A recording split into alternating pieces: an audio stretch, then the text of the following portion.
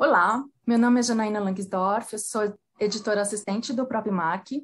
Em nome do Jarrett Awards, eu agradeço aí a presença da Natália Cabral, que está aqui conosco, gerente de parcerias do Facebook, e Maria Laura Nicotero, CEO e diretora da Momentum Worldwide para a América Latina. Ambas são as juradas do Brasil nessa edição do prêmio, que só tem mulheres aí analisando as melhores campanhas publicitárias de todo o mundo. Então, eu começo perguntando para Maria Laura. É, o Brasil ganhou ouro com o case que ajudou pessoas trans a mudarem o seu nome e ganhou bronze com uma campanha é, que falava sobre doação de sangue. Na sua opinião, como é que veio o reconhecimento para esses dois trabalhos?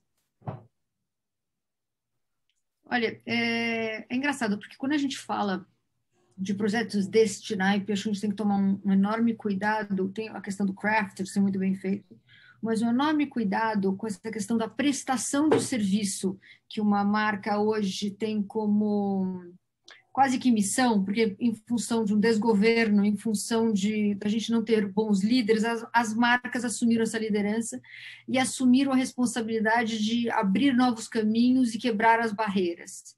Então, nesse sentido, o movimento da marca é maravilhoso. A única coisa que eu sempre chamo a atenção, quando a gente avalia o case, a gente é, rever e rever, né? A gente troca ideias com os parceiros da área, etc. E tal.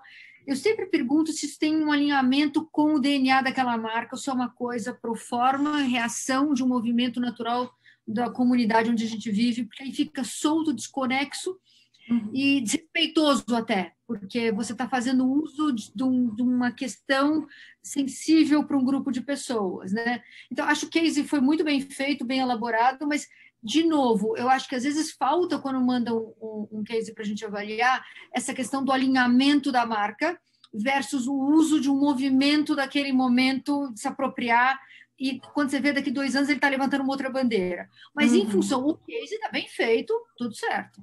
Uhum. E, e, na tua opinião, como é que, que é, a reação das marcas a reagir, é, aconteceu, né, diante de três crises aí que a gente é, vive hoje no nosso país, a sanitária, econômica, racial, como é que veio essa reação das marcas?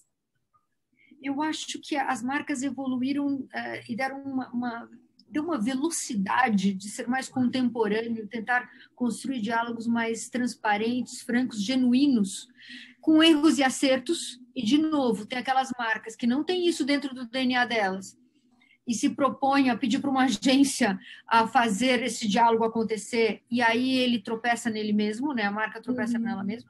Mas acho que, em geral, até na questão das novas lideranças dentro dessas marcas, uh, eu acho que houve um, um movimento de você trazer pessoas que estão mais alinhadas com os movimentos. Portanto, um case como esse, como a gente viu, se o líder interno já tem isso dentro dele, alinhado com a marca, as agendas do, da pessoa física, PJ, está alinhado, e alinhado com o momento da sociedade, acho que faz todo sentido. Então, acho que várias marcas caminharam muito bem nesse sentido, outras tropeçaram. Uhum. E, e, e, por esses movimentos todos, né, como é que você é, encara o papel das marcas é, na sociedade hoje? Né? Qual é o papel que elas vêm assumindo hoje? Eu, eu acho que elas até estão surpresas e estão no processo de aprendizado. Uma ou outra mais madura, né? mas eu acho que elas não. Quando você faz pesquisa para os clientes, ou mesmo essas que saem, né, que a gente vê no, no mercado, você fica atento que a marca tem mais respeitabilidade do que as lideranças do governo. Portanto, uhum. você mira nelas para saber os próximos caminhos, né? Você mira nelas para pedir ajuda porque ela abra o caminho dessa contemporaneidade, o respeito. É quase que uma, uma marca vira um, um trabalho de prestação de serviço. Ela quer vender, ela está em o negócio dela, tem o business, tem ações na bolsa, está tudo certo Uhum. Mas quando você vê um conselho de uma empresa determinando uma pauta e aquilo tem desdobramentos, os layers todos abraçam, ela parte, passa a ter uma responsabilidade muito maior, constrói diálogo com o seu consumidor e essa marca tem que ser uma representatividade do que é real, né, do, desse consumidor. Um pouquinho de todos nós temos que estar dentro dessa empresa, senão você não consegue nem se comunicar. É, então, acho que é isso. Eu acho que evoluiu muito. Tem muito ainda para ser feito, hein? Mas uhum. eu acho bonito feito nos últimos ano e meio, dois. Achei, acho uhum. bem legal. Você acha que em alguns momentos as marcas têm assumido um, um, papel que muitas vezes é do poder público? Exato, é isso que eu falo. Esse desgoverno uhum. passou para essas uhum. marcas responsabilidade muito grande e nós nos conectamos mais com ela, porque há, há quase que uma accountability da nossa parte para com eles. Você vê o que eles estão fazendo, você compra, não compra, você reage e se posiciona. Na questão do governo, essa relação é tão mais complexa, né? É, hum. Como é que você monitora? Qual é o accountability para com eles? Você não sabe como é que eles estão gastando nosso dinheiro. Eles se posicionam, nos assustam. Você acabou de eleger aquela pessoa. Então, é muito mais complexo. A marca tem essa responsabilidade. Uhum. Legal. Vou partir para uma outra frente aí da nossa conversa agora, conversar um pouquinho com a Natália. É... Tudo bem, Natália? Tudo bem, super obrigada pelo convite, muito feliz de Imagina, estar aqui. A gente que agradece por você ter topado. É, eu queria discutir um pouquinho com você é, é, o papel da mulher e novas gerações, né, nesse, nesse contexto todo que a gente acabou de discutir aí com a Maria Laura, né? O que esperar, né, da propaganda, né, é, que será construída aí pelas novas gerações aí nos próximos anos? Qual é a tua visão? Eu acho que a Maria Laura trouxe um ponto muito importante, que é essa transformação que a gente está vivendo, né? Dentro desse, a gente está num ponto de virada em muitos aspectos e enquanto sociedade, com certeza. Então, acho que essa crise toda que estamos passando mundial não, não tem um antes e depois, assim. E eu acho que trabalhando com conteúdo assim há mais de cinco anos, eu consigo ver isso nesse negócio, né? A geração Z, que todas as redes sociais estão de olho nelas, trabalhando para elas, as marcas também olhando para elas é, é, essa geração que a gente está falando que é a próxima e que espera que vão ser os consumidores e também vão ser os profissionais desse mercado. E se a gente agora, nesse momento, está aqui falando sobre o que esperamos das marcas, do seu papel social, desse momento de começarem as marcas a assumirem um papel que é até político, né? Tipo, e que a sociedade já espera isso, eu imagino que essa geração já nasceu nesse mundo, né? É diferente de nós que estamos nessa transição e que hoje em dia começamos essa conversa de vou consumir sim ou não essa marca, se existe ou não mulheres envolvidas nas decisões, ou se existem pessoas negras, se existem pessoas trans, enfim, todos os espectros de diversidade possíveis. E eu acho que para essa geração isso já vai ser dado. Então, assim, é, essas conversas eu espero, né? Mas, assim, eu já vejo muito isso acontecendo na, nas redes sociais elas já, já esperam por isso, elas querem olhar para todos os ambientes e verem o que elas veem nos seus dias a dias, que são tipo, realmente espaços muito mais diversos. Uhum. Então, acho que não só para mulheres, mas para todo tipo de diversidade, essa vai ser uma geração que efetivamente vai empurrar essa mudança, tanto enquanto consumidora, enquanto profissional e produtora de conteúdo e por aí vai. Uhum. Ai, bacana. E das meninas publicitárias, né? As, as nossas mulheres, é, quais surpresas assim a, a, gente pode esperar? Porque é, a mulher traz esse lado intuitivo também, né? Da, da, da avaliação assim da, das situações e dos contextos. E isso muitas vezes faz toda a diferença, né? Para você ter mais sensibilidade mesmo em tratar questões que são tão é, delicadas, né? É, o que, que a gente pode esperar aí das mulheres? Eu acho que é algo dessa linha também, né? Uhum. É, essa nova geração de mulheres na publicidade, eu acho que eu vejo cada vez mais fazendo esses questionamentos e entendendo e querendo se ver em todos os ambientes, desde a alta liderança, né, de fazer esse questionamento, por que não estamos lá, ou quem são as pessoas envolvidas nessa campanha, tem a visão de uma mulher, tem mulheres produtoras nesse processo, porque é, é, realmente tomando a frente desses espaços uhum. e fazendo esses questionamentos e cobrando essas posições de marcas, de companhias. Então, eu acho que quanto mais, eu espero que no futuro exista um cenário onde as mulheres possam fazer essas perguntas e ainda assim não perderem oportunidades de trabalho, do tipo, eu vou trabalhar nessa campanha apenas se for um produto de mulheres feito por mulheres, vamos seguir dessa maneira? Uhum. Então, eu espero que a gente consiga nos próximos anos ir construindo isso. Eu Na sua opinião. Opa, fica à vontade, Maria Laura. Acho bem legal tudo isso que ela falou.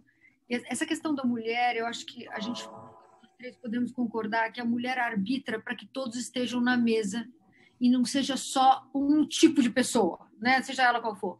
É, o homem branco heterossexual. Eu, não, não tô, e, e, né? eu acho que a mulher quer ver todo mundo na mesa e a gente não quer ter a voz mais alta, a gente quer ouvir todos. Então, quando, até nesse prêmio, quando a gente está olhando para fazer o julgamento, acho que é com esse olhar que a gente vê, com essa visão a gente está dentro de uma bolha é, no mundo publicitário, olhando para o nosso trabalho. Aí tem uma fresta que a gente olha pelo olhar feminino. Como é que você vê o trabalho que está sendo feito aqui?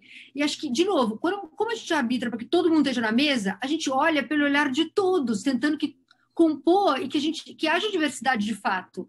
Acho uhum. que é isso que é genial do até quando a gente fala assim, poxa, lá fora, nos países onde é, a pandemia estava sendo liderada por mulheres, os governos saíram disso de uma forma melhor, porque a gente chama todos para discutir, entendeu? A gente não quer ter um viés só, a uhum. gente quer o respeito. Não sei se eu estou me fazendo. É, Sim, claro. mais integracionista, né? É uma coisa de Isso. colaboração e, e, de trazer todo mundo para a conversa. Eu acredito muito também nesse, nesse espírito de cooperação, né? Definitivamente o olhar para todos mesmo, né? É, é uma coisa que a gente pratica até dentro de casa, né? Quando a gente é, quer é, resolver uma questão ali entre os irmãos, né? tal coisa, o outro fez tal coisa, você precisa ter a visão do todo. A mulher acho que já traz um pouco disso, né? Já pratica muito isso é, no, seu, no seu dia a dia ali, na, nas questões de família, né? E é como eu falei, é um pouco da intuição também que na hora de, de é, fazer o trabalho, compor uma ideia, né? Faz, faz toda a diferença, né? É isso aí. Vocês é, acreditam que é, a propaganda tem sido capaz de pautar conversas entre pais e filhos, a fim de que essas novas gerações cresçam é, respeitando mais as, as diferenças? Eu acho que a propaganda, ou enfim, tudo que tem alcance de massa, tem um impacto muito importante em travar conversas que não necessariamente são possíveis dentro de casa, né? Eu acho uhum. que é, num momento que a gente está de polarização de todas as ideias, tem também o grande embate geracional que eu imagino que aconteçam em muitas casas.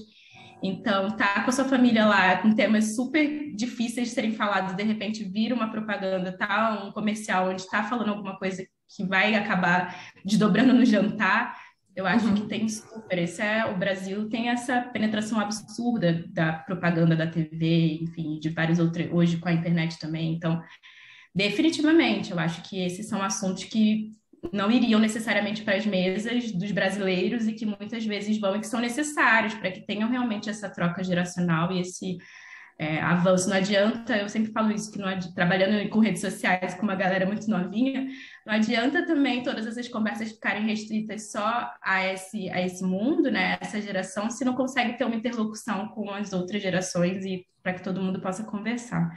Sim, então, definitivamente, sim. eu acho que tem um, um tom mais de maior alcance, né, para poder possibilitar mais essas conversas. Você sabe que eu chamo a atenção no momento país, momento de democracia, né, onde a gente está discutindo, tudo isso que a Natália falou só é possível numa democracia, onde talvez na minha casa um assunto seja restrito, não saiba discutir ou puxar o fio da meada, mas em função desse momento democrático que conquistamos, a gente pode, numa TV, numa rede social, num filme, abordar qualquer assunto que a gente queira, porque é livre-arbítrio, e isso pode ser discutido na casa das gente. Então, a importância da publicidade na democracia, eles casam, eles caminham muito juntos, né? Então, num uhum. momento tão é, difícil, tão delicado como o de ontem, onde você tem que entender que você pode ter qualquer opinião na vida, mas assim, let's agree to disagree, né? Você pode ir contra mim, mas eu também tenho o direito de falar com todo respeito. A publicidade tem esse papel de se colocar e chamar atenção para a democracia, para falar sobre qualquer assunto. Claro que sempre respeitando a sua marca, o seu DNA, cada marca aborda o assunto que quiser, né? Tá tudo certo. Mas isso está vinculado à democracia, gente. Sim. É, eu ia puxar justamente essa linha mesmo, né, tendo em vista os acontecimentos de 7 de setembro e imaginando que a gente está entrando num ano bem turbulento aí até as eleições do, do, ano que vem, né? Na tua opinião, Maria Laura, como é que as marcas entram nessa, nessa conversa que com certeza vai tomar as rodas, né, de, de, de conversa é, dentro de casa, fora de casa, enfim, do brasileiro vai falar disso e o que as marcas mais é, fazem hoje, enfim, com vários recursos e ferramentas, é justamente para monitorar o que as pessoas estão falando e como entram nessa conversa, né? Então, como entrar nessa conversa sem riscos para a reputação de uma marca? É, eu acho que, poxa, acho que nós, uma agência, ou mesmo o Face, liderando os movimentos de rede social, etc., a gente faz muita pesquisa, né? E tudo é embasado nesse movimento em respeito a esse, eh, essa comunidade onde a gente navega, as marcas vão responder sim. Eu acho, na minha opinião, elas estão atrasadas. Uhum. É, se os empresários tivessem tido uma posição mais firme, a gente uhum. não estaria passando o que a gente está passando hoje. Eu acho que a gente deveria ter sido mais concreto nas nossas posições. É, eu acho que aconteceu nos Estados Unidos, não é, não é só para a gente que isso acontece, acontece em outros países da Europa, mas no final do, do, das eleições americanas, o empresariado se uniu e se posicionou e se uhum. mostrou é, forte. Eu acho que espero isso do brasileiro, do empresariado brasileiro, e eu acho que se se colocar atrás das associações é uma forma muito imatura de se posicionar. Eu acho que uma coisa, fazer uma carta em conjunto, uma associação, é uma associação. Acho que tem uhum. que você tem que fazer um pacto e falar assim: olha, aqui estão os maiores, os 10 maiores empresários do país, nós queremos a democracia. Eu posso até nem optar por verde ou amarelo, não é isso que eu estou dizendo. Claro. O verde, amarelo e o vermelho. Mas é a democracia, gente. É, são eleições diretas, é na urna esse posicionamento da luta pelo livre-arbítrio para a gente ter o nosso espaço, as marcas é que tem que, na minha opinião, é que tem que uhum. assumir e se uhum. posicionar. É porque é mais do que uma, se você for pensar, ah, é, é, um posicionamento político, isso é delicado, mas é mais do que isso, né? É a, é a luta pelo progresso do país, pela oportunidade de novas gerações e pela luta da sobrevivência do, do, do próprio setor livre, né? Inclusive a propaganda. E nas é. propagandas que a gente julgou, a gente viu muito das nuances políticas que estão acontecendo no mundo inteiro, né? Foi um retrato... Ah, que bacana. Fala um pouco do que você viu. Olha, eu não sou uma expert, eu não sou uma... É porque tem que super jurado, assim, né, de coisa. Mas eu, eu me encantei com os movimentos no sentido de é, até fazer uso da tecnologia, não, porque eu, eu fiz, participei de Cane, aliás, vocês fizeram um editorial bem legal essa semana, mas participei de Cane há uns cinco anos atrás e a tecnologia estava sendo usada e você falava, por que essa tecnologia está nesse case? Hoje você vê a tecnologia em função desse diálogo que a marca quer, quer provocar, em função de uma construção do negócio e não de forma tecnologia pela tecnologia. E aí, quando você vai olhando o dia a dia, ela constrói, ela está junto para conversar com, essa, com esse consumidor, com essa figura do outro lado, de uma forma mais, é, vamos dizer assim, transparente e real, eu achei. Acho que em função dessa pandemia, as coisas estão mais francas, mais transparentes, mais, mais é, livres de preconceitos também. É, não sei se a Natália percebeu isso, sentiu isso. Não sei se está tão na minha cabeça essa coisa de, meu Deus, o preconceito. Eu senti, eu acho que o, o, cenário de Covid deixou tudo muito evidente, né? De efetivamente, até mesmo esse, esse, os cases que a gente avaliou recentemente, os ganhadores, é, sobre qual é a diferença, o que, que precisa. Acho que o Covid deixou tudo muito evidente do que precisa ser feito. E aí as marcas, as empresas puderam entrar e fazer algo sobre isso. Eu lembro muito de alguns cases que tiveram sobre o uso de tecnologia, até mesmo para proteção de Covid. Não sei se você lembra desses. Uhum. É, que apareceram, Maria Laura, que foi exatamente isso que você está falando agora. Eu tive essa sensação que é tipo a aplicabilidade direta de alguma coisa no resultado da vida de alguém. Então, eu acho que isso é muito legal, realmente, que você está falando, que é isso. Ficou muito evidente sobre como eu posso entrar e fazer um resultado em cima de uma questão social, porque no fim o que a gente está falando são marcas e empresas trabalhando para o papel social, né? Tipo, a Sim. curto ou longo prazo.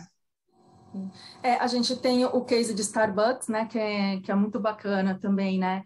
É, você pensar que em, em, acho que foi um dia só é, aumentou sete vezes o número de pessoas que mudaram o nome na comparação com o que São Paulo faz, né? Então, é, como é que vocês analisam, assim, partindo dessa potencialidade, né, de uma ação como essa, será que a propaganda poderia fazer mais do, do, do que já está sendo feito? Eu não sou tão crítica assim, eu acho que a propaganda já tem um papel incrível na vida da gente. É, a, a, a, propaganda reage de acordo com que a sociedade também provoca e constrói a conversa, né? Então, eu acho que tem momentos que a gente abusa, que a gente vai além e que a gente depois consertar, e são aprendizados, né? A democracia é isso, você erra e acerta, Sim. mas você é...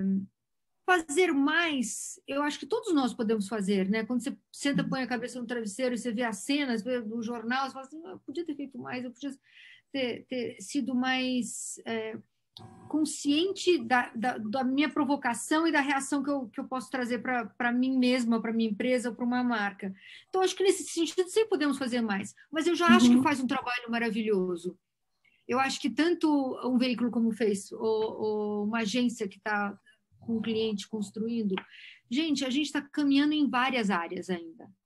Até nas nuances de como é que a gente constrói é, a narrativa, são aprendizados, né, Natália? É, não está tudo pronto. A gente, essa galerinha jovem que está trabalhando com a gente, que nos provoca, etc. E tal, uhum. a gente tem até é mais velha até para dizer assim, mais para cá, uhum. menos para lá. Então, esse aprendizado todo, não, não diria que a gente pode fazer mais porque a gente não quer fazer mais. Acho que a gente está no aprendizado para caminhar a fazer mais, entendeu? Sim, sim. Eu concordo e você, Natália? super com o que a Maria Laura falou. Eu acho que é exatamente isso. A gente está no processo e o que, a minha sensação depois desse, de todo esse prêmio, de todas as revisões que a gente fez, foi principalmente em relação ao impacto, porque isso é o que eu acho do fazer mais, é, é esse ponto.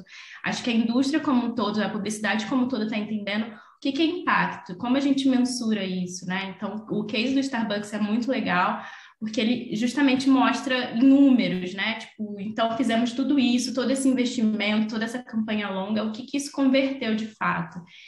É, e que eu acho que a gente cada vez mais está falando de métricas de conversão e coisas nesse sentido. E talvez o, o, fazer mais venha nisso, e cada no futuro, quem sabe, as campanhas sejam pensadas em impacto. Qual é a campanha que vai gerar o maior impacto, seja social, uhum. seja de conversão? Já, já se fala muito, principalmente para conversão, mas se a gente fala de impacto social, qual é a conversão, né, entre aspas, desse impacto social?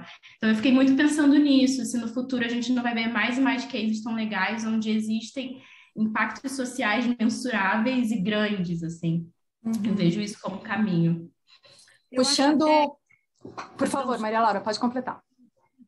É, discuto muito a questão da mulher no board. Hoje, né, o movimento, a gente fez o push das mulheres estarem no board, ter maior representatividade. Mas também uma outra coisa que a gente discute de estar no board, que é esse olhar que a Natália falou, até para o prêmio, né? É, é preciso que tenha uma pessoa de comunicação do marketing dentro desse board para gerar a narrativa correta.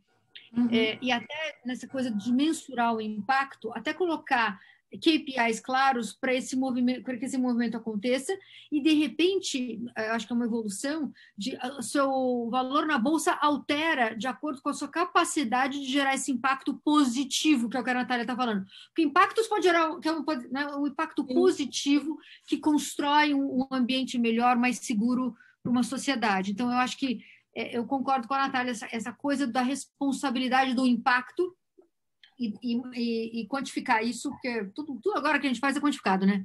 É impressionante. É, eu ia então, puxar justamente esse gancho, né? A gente vê é, as agências e as marcas com um arsenal enorme aí de recursos e ferramentas para mensurar, monitorar.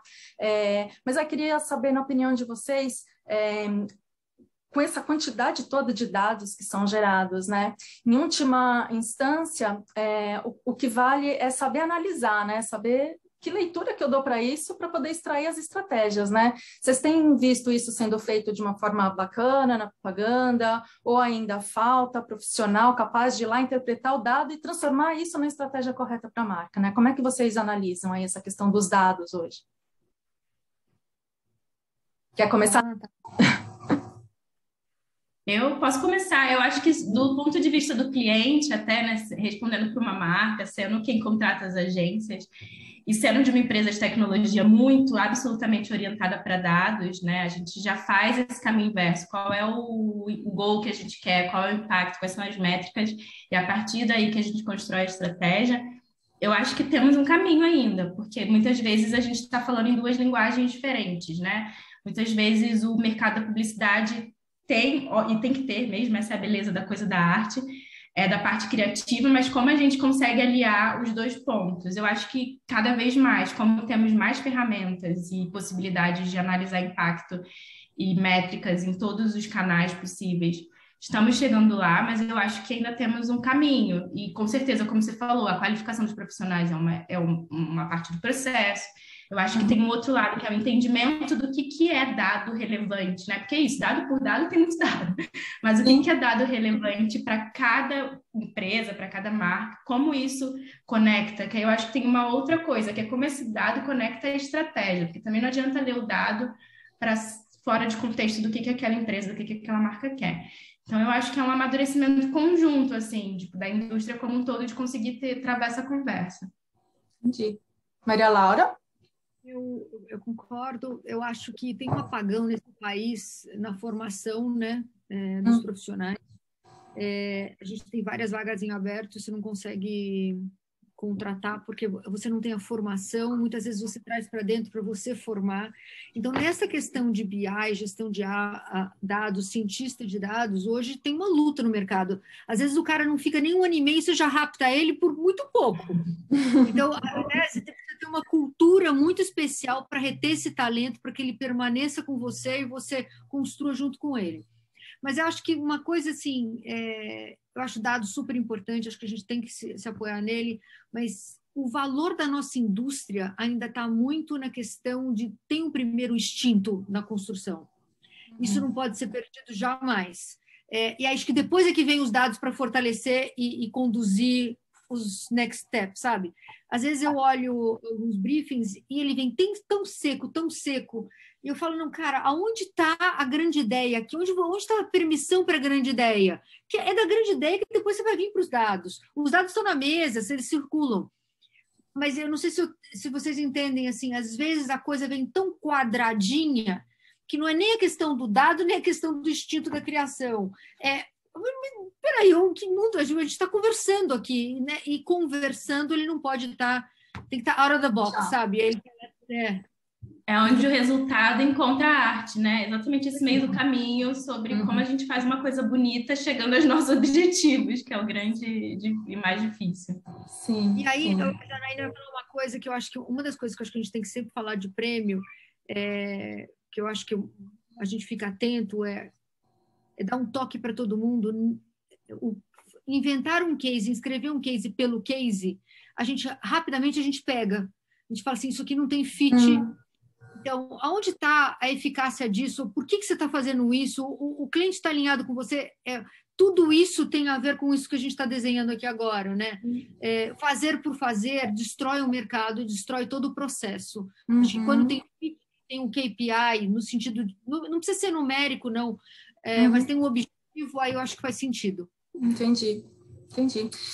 Meninas, queria deixar esses minutinhos finais para as nossas últimas considerações do que vocês estão vendo aí é, de contexto mesmo de mercado, cruzando com o que vocês viram nos prêmios que vocês julgaram, é, o que, que vocês destacam, assim, como uma mensagem, talvez, né, para quem vai nos assistir.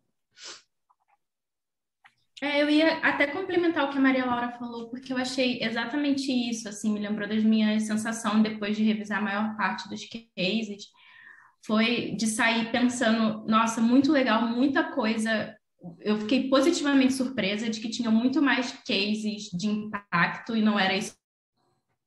Fiz um case só para fazer, eu fiquei com essa sensação. Tinham bem mais coisas muito legais e que dava para ver que foi feito por um motivo, tinha uma ideia por trás, tinha um impacto, tinha um resultado.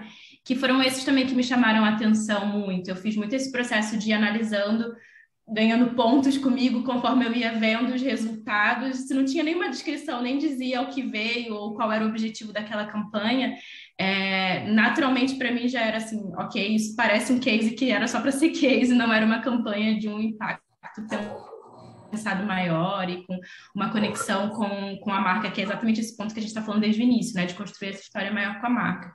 Então, eu fiquei muito positivamente surpresa de ver a indústria nesse momento, assim, principalmente no momento de Covid, que é tudo isso que a gente está falando, um cenário social onde a, o papel das marcas é super importante. Realmente, a gente ter tantas histórias legais que foram feitas nesse último ano, então, ou seja, né, foi um trabalho de início de pandemia, das pessoas pararem e falar o que, que a gente consegue fazer de resposta a tudo isso que está acontecendo, é, e que já geraram coisas tão legais e que a gente consegue ver realmente não só de publicidade, mas até mesmo de é, tecnologias, como a gente viu em alguns desses cases, e que estão no ar aí já fazendo diferença na vida das pessoas. Uhum. Você, Maria Laura? Eu, olha, é, para mim foi uma experiência super interessante toda vez quando eu olhava um case e falava assim, nossa, pelo olhar de uma mulher, né, um olhar feminino. Então, a primeira vez que eu passei por essa experiência, achei muito legal. É, faço das palavras da Natália as minhas, assim, percebi muito case escrito por, por ser um case para ganhar prêmio. Eu acho que isso irrita a gente, porque exatamente por todas essas crises que a gente está vivendo, a gente quer ver algo que tenha o impacto, que é a palavra que ela usou repetidamente aqui, que tenha uh, fit com essa sociedade. Não dá mais para brincar, gente. A gente tem está perdendo tempo, né? É, o tempo vale ouro. A gente está é, tem pautas relevantes. Então, quando você vê uma coisa sendo, parece que está sendo usado, entendeu? Então gera um certo uh, é, e aí muitas vezes eu estava julgando é isso. Fui julgando e aí eu tinha dado uma nota baixa para alguém lá em cima, fui vendo as barbaridades, falei, não, pera, pera. Vou voltar lá. E voltava lá para reaver. Porque eu acho assim, a hora que você percebe que estão fazendo uso do nosso meio, do nosso canal, para capitalizar e ganhar prêmio como agência, ah, tá fora. Mas aí você vê, pô, aquele lá trabalhou para caramba, ele paga, ele escreveu aqui, então vou ler de novo isso aqui. Então, é, foi um aprendizado nesse sentido. Bacana, meninas. Agradeço muito, nosso tempo acabou, mas agradeço imensamente aí a, a, presença de vocês nesse papo. Espero que todos tenham gostado. Foi um prazer. Obrigada, foi um prazer. Obrigada, gente. Tchau, tchau.